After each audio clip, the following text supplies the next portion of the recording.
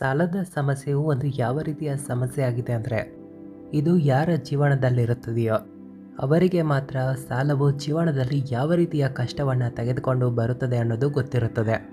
ಯಾವ ವ್ಯಕ್ತಿಯ ಜೀವನದಲ್ಲಿ ಸಾಲಗಳು ಹೆಚ್ಚಾಗಿರುತ್ತವೆಯೋ, ಇಂಥ ವ್ಯಕ್ತಿಗಳು ಸರಿಯಾಗಿ ತಿನ್ನೋದಿಲ್ಲ, ಊಟ ಮಾಡೋದಿಲ್ಲ, ನಿದ್ದೆ ಮಾಡೋದಿಲ್ಲ, ಸರಿಯಾಗಿ ಇವರಿಂದ ಕೆಲಸ ಕೂಡ ಮಾಡಲು ಸಾಧ್ಯ ಆಗ್ತಾ ಇರೋದಿಲ್ಲ. ಹಾಗಾಗಿ ಸ್ನೇಹಿತರೆ, ಇವತ್ತಿನ ವಿಡಿಯೋದಲ್ಲಿ ನಾವು ನಿಮಗೆ ಒಂದು ತುಂಬಾ ವಿಶೇಷವಾದ ಪ್ರಯೋಗ ಬಗ್ಗೆ ತಿಳಿಸ್ಕೊಡ್ತೇವೆ. ಇದು ಭಗವಂತನಾದ ಆಂಜನೇಯ ಸ್ವಾಮಿಗೆ ಸಂಬಂಧಿಸಿದೆ. ಯಾಕಂದರೆ ಇಲ್ಲಿ ಮಂಗಳ ಗ್ರಹದ ಸ್ವಾಮಿ ಕೇವಲ ಆಂಜನೇಯ ಸ್ವಾಮಿಯಾಗಿದ್ದಾರೆ. ಇಲ್ಲಿ ಮಂಗಳ ಗ್ರಹದ ಕಾರಣದಿಂದಲೇ ಜೀವನದಲ್ಲಿ ಸಾಲದ ಸಮಸ್ಯೆಗಳು ಬರುತ್ತವೆ. ಇಲ್ಲಿ ಯಾರ ಜೀವನದಲ್ಲಿ ಸಾಲದ ಸಮಸ್ಯೆಗಳಿವೆಯೋ, ಅವರು ಆಂಜನೇಯ ಸ್ವಾಮಿಯ ಆಶೀರ್ವಾದ ಇಲ್ಲದೆ ಸಾಲದ ಸಮಸ್ಯೆಗಳಿಂದ ಆಚೆ ಬರಲು ಸಾಧ್ಯವೇ ಆಗೋದಿಲ್ಲ. ಹಾಗಾಗಿ ಸ್ನೇಹಿತರೆ ತುಂಬಾ ಗಮನವಿಟ್ಟು ಈ ಕ್ರಿಯೆಯ ಬಗ್ಗೆ ತಿಳಿದುಕೊಳ್ಳಿರಿ. ಯಾವ ರೀತಿಯಾಗಿ ಇದನ್ನು ಮಾಡೋದು ಅನ್ನೋದನ್ನು ನೀವು ತಿಳಿಯೋದು ತುಂಬಾ ಇಂಪಾರ್ಟೆಂಟ್ ಇದೆ. ಅದಕ್ಕೂ ಮುನ್ನ ಬೇಗನೆ ವಿಡಿಯೋನ ಲೈಕ್ ಮಾಡಿ ಕಾಮೆಂಟ್ ಬಾಕ್ಸ್ನಲ್ಲಿ ಓಂ ನಮ ಶಿವಾಯ, ಹರ ಹರ ಮಹಾದೇವ್ ಅಂತ ಕಾಮೆಂಟ್ ಹಾಕಿ, ಭಗವಂತನಾದ ಶಿವನಿಗೆ ನಮಸ್ಕರಿಸಿ, ಭಗವಂತನಾದ ಶಿವನ ಆಶೀರ್ವಾದವನ್ನು ಪಡೆದುಕೊಳ್ಳಿರಿ. ಯಾಕಂದರೆ ಭಗವಂತನಾದ ಶಿವನ ರೌದ್ರ ಅವತಾರವೇ ಆಂಜನೇಯ ಸ್ವಾಮಿಯಾಗಿದ್ದಾರೆ. ಇಲ್ಲಿ ಭಗವಂತನಾದ ಆಂಜನೇಯ ಸ್ವಾಮಿಯ ಸಂಕಟ ಮೋಚನ ಕೂಡ ಆಗಿದ್ದಾರೆ. ಇವರು ಎಲ್ಲ ರೀತಿಯ ಸಂಕಟಗಳಿಂದ ತಮ್ಮ ಭಕ್ತರ ರಕ್ಷಣೆಯನ್ನು ಕೂಡ ಮಾಡ್ತಾರೆ. ಸ್ನೇಹಿತರೆ ಈ ಪ್ರಯೋಗವನ್ನು ನೀವು ಯಾವಾಗ ಮಂಗಳವಾರ ಬರುತ್ತೋ ಅಥವಾ ಶನಿವಾರ ಬರುತ್ತೋ ಆ ದಿನಗಳಲ್ಲಿ ಈ ಪ್ರಯೋಗವನ್ನು ನೀವು ಮಾಡಬೇಕು. ಯಾವುದಾದ್ರೂ ಆಂಜನೇಯ ಸ್ವಾಮಿಯ ದೇವಾಲಯಕ್ಕೆ, ಯಾವುದಾದ್ರೂ ಮಂಗಳವಾರ ಅಥವಾ ಶನಿವಾರದ ದಿನ ನೀವು ನಿರಂತರವಾಗಿ ಹೋಗಲು ಶುರು ಮಾಡಬೇಕು. ಜೊತೆಗೆ ಬೆಲ್ಲ ಮತ್ತು ಕಡಲೆ ಕಾಳುಗಳನ್ನು ನಿಮ್ಮ ಜೊತೆ ತೆಗೆದುಕೊಂಡು ಹೋಗೋದನ್ನು ಮರೆಯದಿರಿ. ದೇವಸ್ಥಾನದಲ್ಲಿಯೇ ಕುಳಿತುಕೊಂಡು ಕಡಿಮೆ ಅಂದರೂ ಐದು ಬಾರಿ ಹನುಮಾನ್ ಚಾಲಿಸವನ್ನು ಜಪ ಮಾಡೋದನ್ನು ನೀವು ಮರೆಯಬಾರದು. ಅಂದರೆ ಪ್ರತಿ ಮಂಗಳವಾರ ಆಗಲಿ ಪ್ರತಿ ಶನಿವಾರ ಆಗಲಿ ಈ ರೀತಿ ನೀವು ಮಾಡಲೇಬೇಕು. ನೀವು ತೆಗೆದುಕೊಂಡು ಹೋದಂಥ ಕಡಲೆಬೇಳೆಗಳು ಬೆಲ್ಲವನ್ನು ಆಂಜನೇಯ ಸ್ವಾಮಿಗೆ ನೈವೇದ್ಯದ ರೂಪದಲ್ಲಿ ಅರ್ಪಿಸಿ ಮರಳಿ ಬರುವಾಗ ಅಲ್ಲಿರುವಂಥ ಮಕ್ಕಳಿಗೆ ಅವುಗಳನ್ನು ಹಂಚಿ ಬರಬೇಕು. ಯಾಕಂದರೆ ಶನಿವಾರ ಆಗಲಿ, ಮಂಗಳವಾರದ ದಿನ ಮಕ್ಕಳಿಗೆ ನೀವೇನಾದರೂ ಸಿಹಿ ತಿನಿಸುಗಳನ್ನೇನಾದರೂ ತಿನ್ನಲು ಕೊಟ್ಟರೆ ಇದರಿಂದ ಪ್ರಬಲ ಯೋಗವು ನಿರ್ಮಾಣವಾಗುತ್ತದೆ. ಈ ಮೂಲಕ ಸಾಲದ ಸಮಸ್ಯೆಗಳು ಖಂಡಿತ ನಿಮ್ಮ ಜೀವನದಿಂದ ನಾಶ ಆಗುತ್ತವೆ ಇನ್ನು ಸ್ನೇಹಿತರೆ, ಎರಡನೇದಾಗಿ ನೀವೇನು ಮಾಡಬೇಕಂದ್ರೆ, ನಿರಂತರವಾಗಿ ಇಪ್ಪತ್ನಾಲ್ಕು ಗಂಟೆ ಹನುಮಾನ್ ಚಾಲಿಸಾದ ಈ ಮುಖ್ಯ ಭಾಗವನ್ನು ನೀವು ಮನಸ್ಸಿನಲ್ಲಿಯೇ ಜಪ ಮಾಡ್ತಾ ಇರಬೇಕು. ಹೌದು. ಇದನ್ನು ಜಪ ಮಾಡಿದ ಸುಗ್ರೀವನಿಗೆ ರಾಜಪಾಠವು ದೊರೆತಿತ್ತು.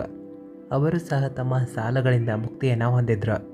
ಯಾಕಂದರೆ ಯಾವಾಗ ಸಾಲದ ಸಮಸ್ಯೆಯಿಂದ ಮುಕ್ತಿ ಸಿಗುತ್ತದೆಯೋ, ಆಗ ಮಾತ್ರ ಸುಖದ ಪ್ರಾಪ್ತಿ ಸಿಗುತ್ತದೆ. ಹಾಗಾಗಿ ಹನುಮಾನ್ ಚಾಲಿಸಾದ ಮುಖ್ಯ ಚೌಪಾಯಿಯು ಈ ರೀತಿ ಇದೆ. ತುಮ ಉಪಕಾರ ಸುಗ್ರೀವ ಹಿಕೀನ ರಾಮ ಮಿಲಾಯ ರಾಜ ಪದದೀನ ಕೇವಲ ಇಷ್ಟೇ. ಇಪ್ಪತ್ನಾಲ್ಕು ಗಂಟೆಗಳ ಕಾಲ ಮನಸ್ಸಿನಲ್ಲಿ ನೀವು ಜಪ ಮಾಡ್ತಾ ಇರಬೇಕು.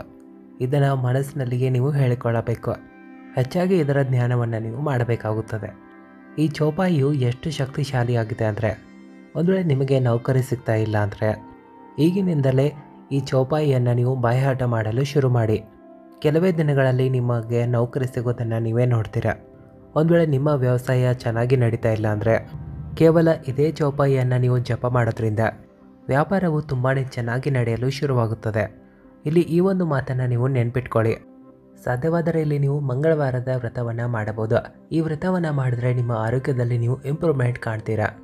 ಇಂಥ ವ್ಯಕ್ತಿಗಳಿಗೆ ಇಲ್ಲಿ ಸಾಲದ ಸಮಸ್ಯೆಗಳೇ ಬರೋದಿಲ್ಲ. ಒಂದು ವೇಳೆ ವ್ರತವನ್ನು ಇಟ್ಟು ಈ ಚೌಪಾಯಿಯ ಜಪವನ್ನು ಮಾಡಿದ್ರೆ ಇದರ ಅರ್ಥ ನಿದ್ದೆ ಮಾಡುವಾಗಲಿ ಎದ್ದು ಕುಳಿತಾಗಲಿ ಊಟ ಮಾಡುವಾಗ, ಸ್ನಾನ ಮಾಡುವಾಗ ಈ ಚೌಪಾಯಿಯನ್ನು ನೀವು ಜಪ ಮಾಡ್ತಾ ಇರಬೇಕು. ಒಂದು ವೇಳೆ ಈ ಪ್ರಯೋಗವನ್ನು ನೀವು ಮಾಡಿದ್ರೆ ಯಾವುದೇ ರೀತಿಯ ಸಾಲದ ಸಮಸ್ಯೆಗಳು ನಿಮ್ಮನ್ನು ಆವರಿಸಿಕೊಳ್ಳಲು ಸಾಧ್ಯ ಆಗೋದಿಲ್ಲ. ಎಲ್ಲ ರೀತಿಯ ಸಾಲಗಳು ಇಳಿದೋಗುತ್ತವೆ. ಬದಲಿಗೆ ನಿಮ್ಮ ಜೀವನದಲ್ಲಿ ಏನಾದರೂ ಹೆಚ್ಚಾಗಿ ಕಷ್ಟಗಳು ಇದ್ದರೆ ಇಲ್ಲಿ ನೂರ ಎಂಟು ಬಾರಿ ಹನುಮಾನ್ ಚಾಲಿಸಾದ ಅನುಷ್ಠಾನವನ್ನು ಒಂದೇ ದಿನದಲ್ಲಿ ನೀವು ಮಾಡಬಹುದು. ಇಲ್ಲಿ ಈ ಒಂದು ಮಾತನ್ನು ನೀವು ನೆನ್ಪಿಟ್ಕೊಳ್ಳಿ.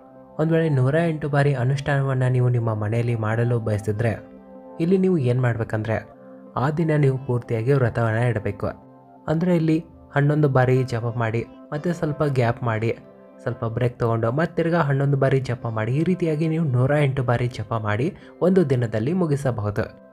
ಇಲ್ಲಿ ಮುಖ್ಯವಾಗಿ ನೀವು ನೆನಪಿಡಬೇಕಾಗಿರುವಂಥ ವಿಷಯ ಏನಿದೆ ಅಂದರೆ, ವ್ರತವನ್ನು ಇಟ್ಟ ನೀವು ಊಟವನ್ನು ಮಾಡಬಾರ್ದು.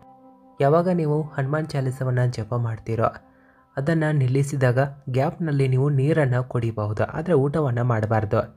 ಇಲ್ಲಿ ಸ್ವಲ್ಪ ನೀವು ರೆಸ್ಟ್ ಕೂಡ ಮಾಡಬಹುದು. ಮರಳಿ ಮತ್ತೆ ಹನ್ನೊಂದು ಬಾರಿ ಆಂಜನೇಯ ಸ್ವಾಮಿಯ ಹನುಮಾನ್ ಚಾಲಿಸವನ್ನು ಜಪ ಮಾಡಬಹುದು.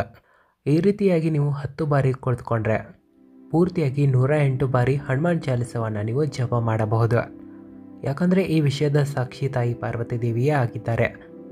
ಇಲ್ಲಿ ಯಾವ ವ್ಯಕ್ತಿ ಹನುಮಾನ್ ಚಾಲಿಸವನ್ನು ಒಂದೇ ದಿನದಲ್ಲಿ ನೂರ ಎಂಟು ಬಾರಿ ಜಪ ಮಾಡ್ತಾರೋ ಇದು ಸಿದ್ಧಿಯಾಗಿ ಬಿಡುತ್ತದೆ. ಹಾಗಾಗಿ ಹನುಮಾನ್ ಚಾಲಿಸವನ್ನು ಮಂತ್ರರಾಜ ಅಂತಲೂ ಕರೆಯುತ್ತಾರೆ. ಯಾವಾಗ ನಿಮ್ಮ ಮನಸ್ಸು ಕಷ್ಟಗಳಿಂದ ತುಂಬಿರುತ್ತದೆಯೋ, ಯಾವಾಗ ನೀವು ಚಿಂತೆಯಲ್ಲಿರ್ತೀರೋ, ತೊಂದರೆಯಲ್ಲಿರ್ತೀರೋ, ಎಲ್ಲಿಂದಲೂ ನಿಮ್ಮ ಪ್ರಶ್ನೆಗಳಿಗೆ ಉತ್ತರ ಸಿಗ್ತಾ ಇಲ್ಲ ಅಂತ ನಿಮ್ಗೆ ಅನಿಸ್ತಾ ಇದ್ರೆ, ಮನಸ್ಸಿನಲ್ಲಿಯೇ ಹನುಮಾನ್ ಚಾಲಿಸವನ್ನು ಜಪ ಮಾಡಲು ನೀವು ಶುರು ಮಾಡಿರಿ. ಆಗ ಸ್ವತಃ ಆಂಜನೇಯ ಸ್ವಾಮಿ ನಿಮ್ಮನ್ನು ರಕ್ಷಣೆ ಮಾಡಲು ಬಂದಿದ್ದಾರೆ ಅನ್ನೋ ಅನುಭವ ನಿಮಗೆ ಮನಸ್ಸಿನಲ್ಲಿಯೇ ಆಗುತ್ತದೆ. ಇಲ್ಲಿ ಯಾರು ಒಳ್ಳೆಯ ಮನಸ್ಸಿನಿಂದ ಭಕ್ತಿಯಿಂದ ಆಂಜನೇಯ ಸ್ವಾಮಿಯನ್ನು ನೆನೆಯುತ್ತಾರೋ? ಭಕ್ತರ ಕಷ್ಟಗಳನ್ನು ದೂರ ಮಾಡಲು ತಕ್ಷಣ ಆಂಜನೇಯ ಸ್ವಾಮಿ ಓಡಿ ಬರ್ತಾರೆ. ಹಾಗಾಗಿ ಯಾರಿಗೆ ಇಲ್ಲಿ ಭೂತ ಪ್ರೇತಗಳಿಂದ ಹೆಚ್ಚಾಗಿ ಭಯ ಇರುತ್ತೋ ಅಂಥವರು ಆಂಜನೇಯ ಸ್ವಾಮಿಯ ಹನುಮಾನ್ ಚಾಲಿಸವನ್ನು ಜಪ ಮಾಡೋದು ತುಂಬಾ ಇಂಪಾರ್ಟೆಂಟ್ ಆ್ಯಂಡ್ ಯೂಸ್ಫುಲ್ ಇದೆ. ಯಾಕಂದರೆ ಆಂಜನೇಯ ಸ್ವಾಮಿಯ ಹೆಸರು ಕೇಳುತ್ತಿದ್ದಂತೆ, ಅವರ ಚಿತ್ರ ನೋಡುತ್ತಿದ್ದಂತೆ ಭೂತ ಪ್ರೇತಗಳು ಹೆದರಿಕೊಂಡು ಓಡಿ ಹೋಗಲು ಶುರು ಮಾಡುತ್ತವೆ. ಯಾಕಂದರೆ ಆಂಜನೇಯ ಸ್ವಾಮಿ ಕಲಿಯುಗದಲ್ಲಿಯೂ ಸಹ ಇದ್ದಾರೆ. ಇವರು ತಕ್ಷಣವೇ ಸಹಾಯ ಮಾಡಲು ಕೂಡ ಬರ್ತಾರೆ. ಈ ಮಾಹಿತಿಯನ್ನು ಹೆಚ್ಚಾಗಿ ನಿಮ್ಮ ಸ್ನೇಹಿತರಿಗೆಲ್ಲ ಶೇರ್ ಮಾಡಿ. ಓಂ ನಮಃ ಶಿವಾಯ, ಹರ ಹರ ಮಹಾದೇವ.